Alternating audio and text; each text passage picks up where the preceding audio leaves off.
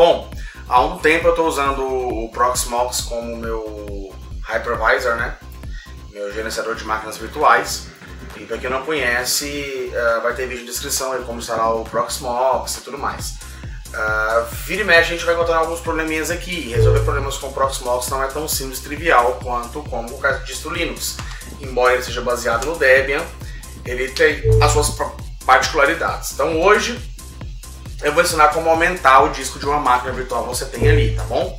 É, a máquina já está tá ali, está funcionando e tudo mais, blá, blá, então uh, se vocês não viram como instalar o Proxmox, como instalar a máquina virtual, como subir as imagens, como migrar a máquina virtual do VirtualBox ou que seja para o Proxmox, tem aí a playlist embaixo na descrição desse assunto Proxmox para vocês procurarem, vocês precisam ali, correto?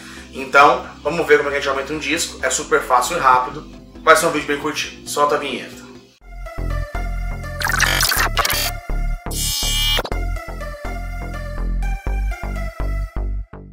Bom, então nós temos o nosso Proxmox aqui, na verdade esse não é aquele primeiro que eu instalei lá só para mostrar como funciona, esse aqui é o meu Proxmox, Uh, e nós temos aqui então essa máquina que eu quero aumentar o tamanho do disco, tá? Ela tem na verdade 15 GB. Eu coloquei dois aqui mais só fazer um testezinho, então nem apareceu ali ainda. Já vamos ver porquê. Mas enfim, você escolhe a máquina que você quer. Vem aqui em hardware, né? Normalmente fica aqui em summary, para você ver como é que tá acontecendo as coisas aqui e tudo mais. É, vem aqui em hardware e eu tenho que aumentar também a memória RAM daqui, tá vendo? 3 GB tá, tá pouco. Uh, nós vamos aumentar a memória RAM também. Mas enfim, vamos aqui em Hardware, correto? Vamos aqui em Resize e aqui ele só te pergunta uma coisa, tamanho do incrementos em giga. Então uh, você vai pôr quantos gigas a mais você quer, tá? Então uh, eu tava com 15 na verdade, eu vou pôr aqui mais, vou chegar a 20, 21 mais ou menos, 17 com 4, 21. Mais ou menos porque vai dar uns 20 gigas lá na máquina, tá? É, e se eu quiser diminuir? Se você quiser diminuir, você vai ter um problema muito grande, porque não é fácil de fazer, mas eu vou ter vídeo no futuro aí no canal podem ficar tranquilos, eu vou diminuir, diminuir um, um, um HD dessa marca aqui especificamente, ó. Tá com 40, eu vou passar para 20 mais ou menos.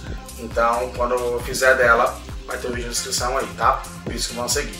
Eu vou aproveitar e já vou aumentar a memória RAM nessa marca aqui também. Vou editar e eu vou colocar então aqui 4096, 4 GB. Aliás, eu vou pôr 6 GB, tá?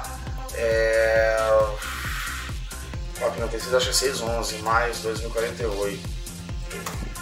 É 6144, aliás. Pôr 6 GB. 6144. Ok, beleza. Ah, acontece que ela não vai ver, né? Nenhuma dessas mudanças agora. Se você vier aqui olhar, uh, H, Ixi, Maria, tem um, um Docker aqui. Uh, não mudou, não, não, mudou nada, né? E a memória também não mudou não, tá? Então o que a gente tem que fazer então? Um sudo reboot do app, faltou o O no surdo. Reboot. E aí, quando ela voltar, vocês já vão ver inclusive aqui eu chego no cantinho pra gente ver, né? Opa, sem errada.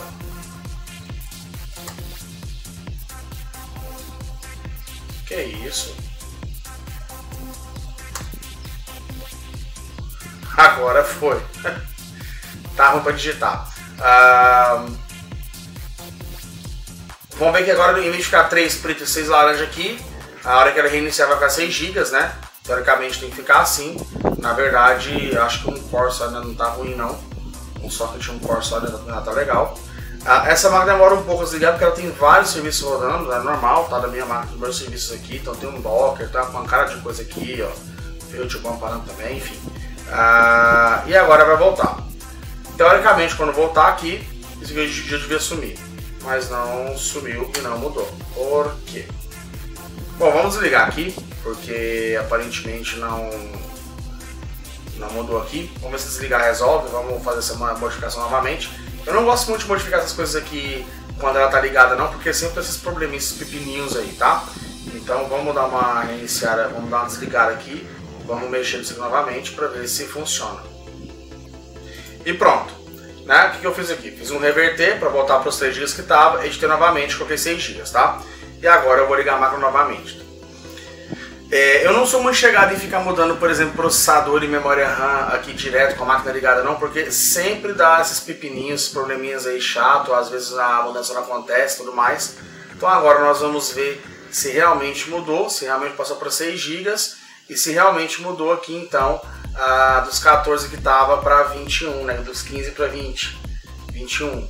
Ah, essa máquina demora um pouco a ligar, essa máquina é migrada também, então tem algumas coisinhas diferenciadas nela mas com a mágica da edição ela vai reiniciar agora. Viram aí? Então vamos lá, vai role e pronto. Vamos deixar ela grandinha, bonitinha para a gente poder enxergar melhor. Esses errinhos aqui você pode ignorar, era de quando do VirtualBox. Ah, então, e aí? É ele está subindo alguma pancada de serviço ainda, tá vendo que o processamento tá no máximo, isso também. DF-H, é, caramba, quanta coisa. Ah, 14, 13, 1.1 GB. Uai, Luciano, mas não mudou nada. Mudou sim, cara, porque agora, se você vier aqui, ó,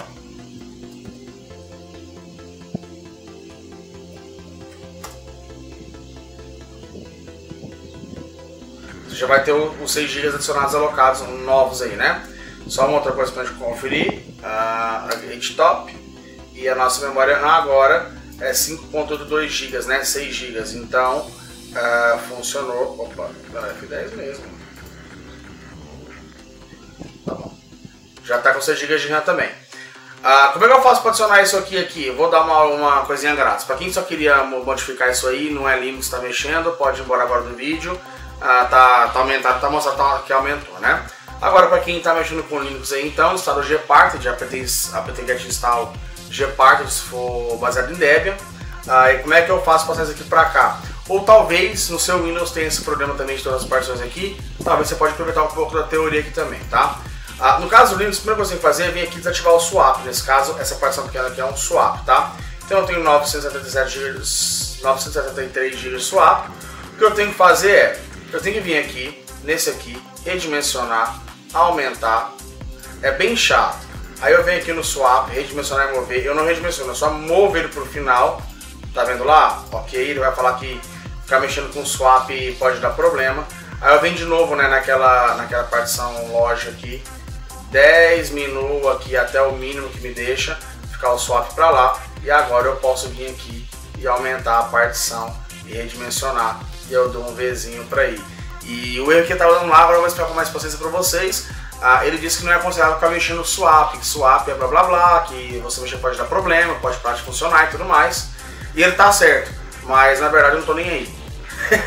então, fez suas modificações, aí depois de tudo terminou aqui, eu venho aqui, ativo o swap novamente, né? E pronto.